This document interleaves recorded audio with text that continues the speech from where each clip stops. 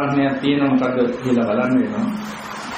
මා දැනට මාස කිහිපයක සිට සක්මන් භාවනා ප්‍රගුණ කරමින් ස්වාමීන් වහන්සේ මගේ ගැටලුව නම් මා ජීවත් වන්නේ මානසිකව ඉත අසහනකාරී පෞල් පසුබිම්කාරී. මේ හේතුවෙන් මා නිතර දැඩි මානසල්ලට හා තරහවටපත් වේ. මෙවැනි දිනවල සක්මන් කිරීමේදී මාගේ සිත කමනාහන් පවත්වා ගැනීමට විතා අසුරිය. බොහෝ සිතුවිලි පැමිණි. මෙවැනි ආසානකාරී දිනක මා කල යුත්තේ කුමක්ද කාරණක පහදා දෙන්න. එසේම වැනි වටවිචාරක ජීවත් වීමෙන් ඉදිරියේදී මාගේ භාවනාව කෙසේ භාවනාවට කෙසේ බලපානු ඇද්ද කියලා අහන්න. එතකොට දැන් මෙයාට තියෙන ගැටලුව මොකක්ද? නෑ මෙයාට තියෙන්නේ ඉන්නේ පරිසරය හොඳ නැහැ. ඒක හින්දා ඒක භාවනාව මෙයාගේ ඉන්නෝ නම් මෙහෙම තීන්දුවක්. මට මේ ගෙදර දොරේ තියෙන කරදර නිසා වෙන් භාවනාවක් සාර්ථක කරගන්න බැහැ. දැන් මෙන්න මෙහෙම මම අර කිව්වා මේ ඔක්කොම භාවනායි බුදුහාමුදුරනේ ධර්මයේ තියෙන කාටද? කාටද වඩාත්ම යෝග්‍ය කියලා බුදුහාමුදුරු දේශනා කරනවා. කාටද ප්‍රඥාවන්තයා. දැන් ප්‍රඥාවන්තයා කියන්නේ බුදුහාමුදුරුවෝ සංඛාර දුක තේරෙන කෙනා. දුක වැඩියෙන් තේරෙන කෙනා දුක වැඩියෙන් තේරෙන ප්‍රඥාවන්තයා. තේරුණාද? මෙලෝදිකක් තේරෙන්නේ නැත්නම් නිකම්ම නිකම් මොකද? දැන් මේ මෙතන මෙයා විතර ප්‍රඥාවන්තයන්ගේ කොම්මෝන. බුදුහාමුදුරන්ගේ ධර්මයේ. ඇයි? දැන් අහගෙන ඉන්නේ ඔය වගේ ප්‍රශ්න නම් අපිට නෑ. එහෙනම් යා එහෙම නැති වුණා මොනික. ඒ දුක තේරෙන්නේ නෑ. නේද දැන් දුක විඳලානේ මෙලක් ඒවා තේරෙන්නේ. එහෙමනම් දැන් ඊගාවට බලන්න ඕනේ මේ මේ වගේ අය මේ හිතන අය සමන්දත් ඔබ දැන් අත මේ මුණාට අනිත් පැත්ත ගහනවා අනිත් දවසේ. මොකද ඔය රහතික සත්‍ය නෑ. ඒ හින්දා මේ ඔය කිසි දෙයක මෙහෙම ඒවා නෑ ලෝකේ. ඒවා අවිනිශ්චිතයි. මේක පෙරලෙනවා යාට මෙහාට. දැන් බුදුහාමුදුරන් කාලේ වැඩියෙන් ඔය කියන කතාවේ නිවන් දැකපු අය දිහා බැලුවම ඒ බුදුහාමුදුරන්ගේ දේශනාව ඇත්තද කියලා බලන්න. දැන් බුදුහාමුදුරන්ගේ ධර්මයේ තේරෙන්නේ ප්‍රඥාවන්තයන් ඒ කියන්නේ දුක තේරිච්චි අයතයි. දුක තේරෙන්නේ නැති අයට මේකෙන් වැඩක් ගන්න බෑ. දැන් දැන් බලන්න දැන් පටාචාර. ඒක ප්‍රඥාවන්තයෙක් වෙන්න බෑ නේද? පහත් වෙන්න බෑ. දැන් යාගේ විදිහ ප්‍රඥාව මොකද්ද? උපාදි ධාතිකද දැනුමද මොකද කියන්නේ? ඒ ප්‍රඥාව තමයි අර දුක දෙන්නේ. මොකද එහෙම සංසිද්ධියකට මුහුණ දුන්නා. අනිමේසු එහෙම මුහුණ දුන්නේ නැහැ එච්චර දෙයකට. කිසాగෝතමී. තේරුණාද? දැන් ඒ විදිහට බැලුවම දුක තේරෙන තැනක් ලැබීම ඔය සමහර විට ඒගොල්ලන්ට නම් දැන් අපි බලමු මේ පටාචාරාව ගැන පටාචාරාව ගැන කියනකොට අපිට ඒ ජීවිතය ගැන කියනවා මෙන්න මෙහෙම වෙන්නේ. ඊට පස්සේ රහත් වුණා කියලා කියනවා. ඒක නිකන් රහත් වෙලා නෙවෙයි ඒවෙන් ඊට පස්සේ තනතුරුත් ලැබලා තියෙන. එච්චර සාධනේ ප්‍රබල වෙලා තියෙනවා. ඉදාගොතෙත් එහෙමයි. දැන් ඒ ටික බැලුවට පස්සේ එයාගේ අතීත ජීවිතය ගැන කියනවා. ඇයි එහෙම අතීතේම කියන්නේ? මන කතාවලදී ඔය දෙක පටාචාරාවගේ නිවන් දැකපු ජීවිත කතාව විතර නෙමෙයිනේ අහන ලියලා තියෙන්නේ බරපතල අතීත කතාවක් දාන්නේ.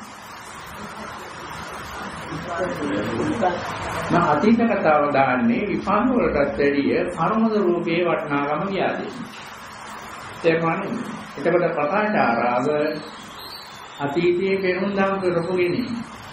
ඒ පාරමිතාව සම්පූර්ණ වෙන්න මෙතන එයාට ඔය කියන ඔයගොල්ලන්ට වගේ හොඳ ගෙදරක් තිබුණා නම් හොඳට සියල්ල සිදුුණා නම් පටාචාරාව අදත් බණමඩුවල් ගානේ පස්සේ අදුගා සංඝාර විමුක්තියක් ලබන්නේ ඒ අනුව මෙතන මේ කවුරුවත් හිතන එක වැරදි බුදුහාමුදුරුවෝ ධර්මය අනුව අපිට මේ දුක හින්ද මේ කරදර හින්ද මේ සංසාර විමුක්ති මාර්ගය කරගන්න බෑ කියලා.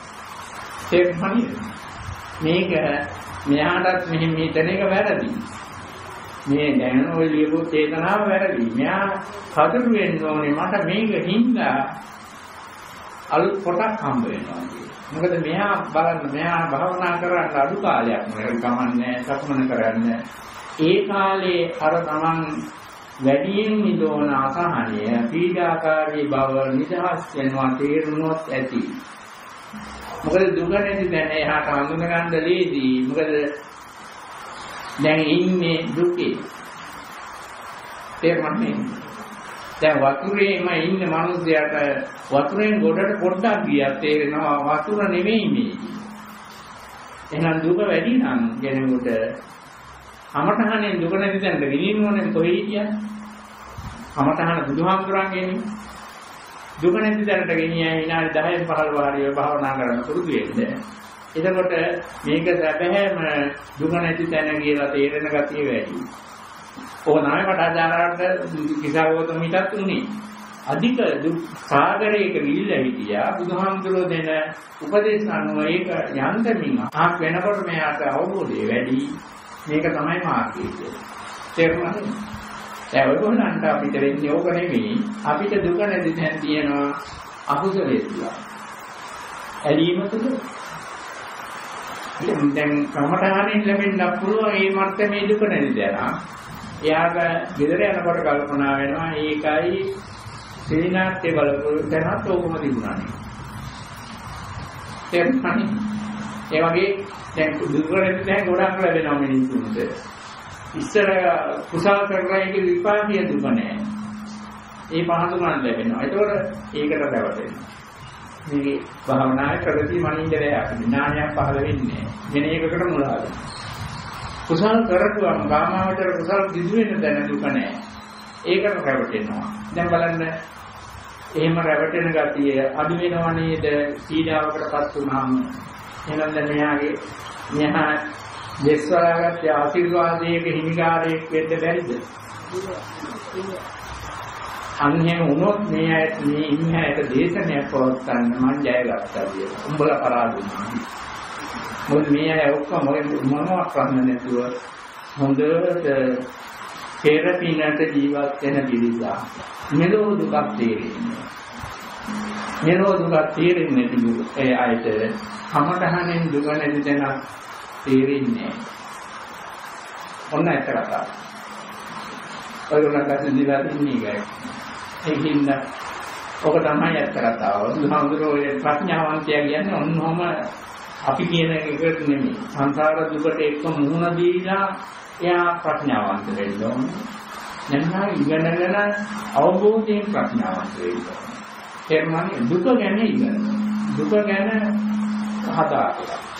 වෙන දේවල් වෙන විෂය කර්ම මේකට නෑ. ඉතින් මම හිතන්නේ එයාට තමන් කරන භාවනාවෙන් සැනසීමක් ලැබෙනවා නම් ඒ සැනසීම අනිත් කෙනෙකුට වැඩි ස්ථාවර සැනසීමක් වෙනවා මේ වගේ අයට. ඒකයි කියන්නේ. තේරුණාද? ඒක ගැන පැටලෙන්නේ අඩු. මොකද ඒකට ඒකට යොමු වෙනවා වැඩි වෙනවා. සමකාන්ත යොමු වීමේ ශක්තිය වැඩි වෙනවා. හැකියාව වැඩි වෙනවා. කරදර ගණන් ගන්න එපා කවුද. මොකද ඒකමයි භාවනාවට උදව් වෙන්නේ. කරදරින් ඉන්න මට භාවනා කරන්න බැහැ කියන්නේ අර සුරංගනා ආලෝකයෙන් ආපු අය.